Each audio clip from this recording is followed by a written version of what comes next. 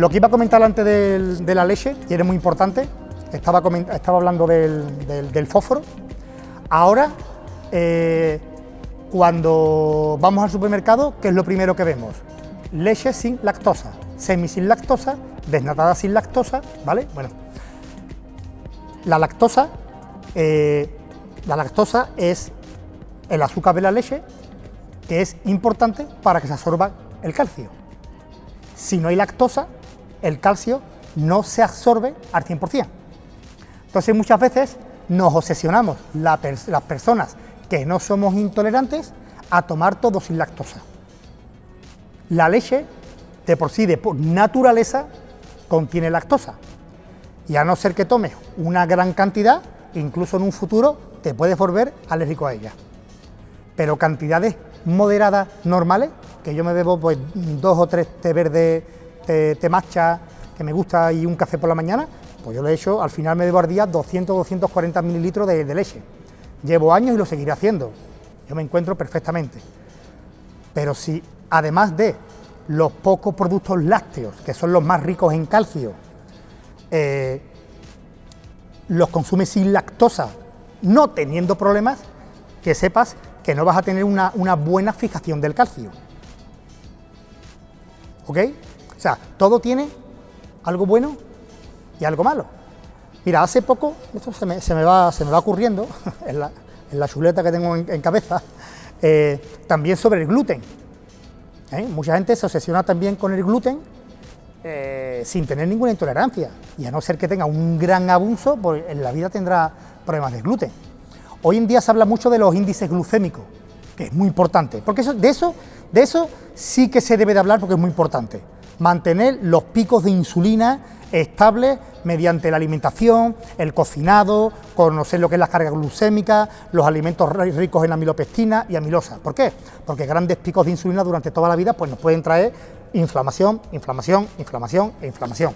Igual a enfermedades eh, eh, y problemas, ¿no? Entonces, em, uy, se me ha ido. se me ha ido lo que iba a decir recordarme, guiarme el camino. el gluten, se me ha olvidado el gluten en la cabeza, ya es que llevamos un par de horas sin parar, eh, disculpad.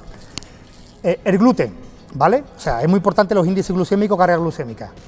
Cuando a un carbohidrato se le quita el gluten, el índice glucémico aumenta.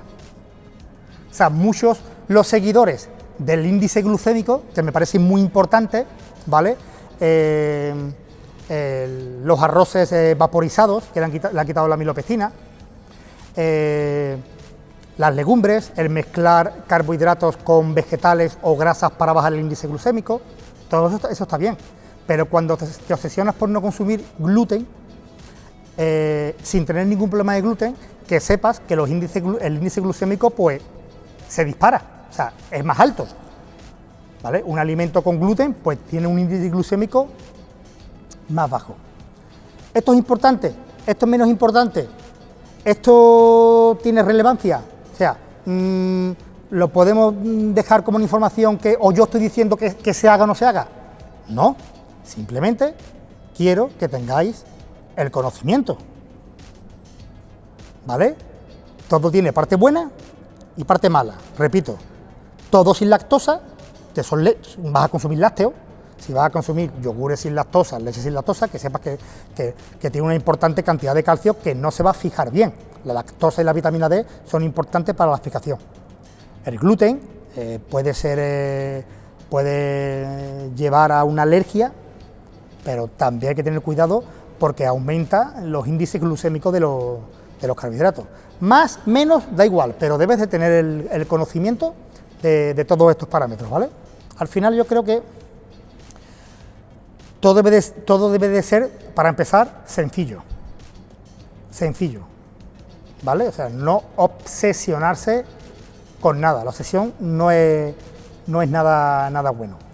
Y a medida que surjan problemas, pues eh, ir haciendo cambios bajo el, análisis verbal del paciente, incluso si se puede, se puede contractar con una prueba médica o criterio médico, pues mejor. Sería sería lo ideal, ¿vale? La, nutrición funcional, que repito, que es lo que a mí me gusta eh, hablar, la funcional, que se habla poco, pues normalmente eh, digamos que es los parámetros o resultados que están después ya del estudio o de sacarte la carrera. Es decir, tú puedes, tú, puedes sacarte el carnet de conducir, puedes hacer una teórica una práctica, pero verdaderamente la conducción funcional, funcional va a ser en el momento que tú tengas tu auto y lo cojas todos los días.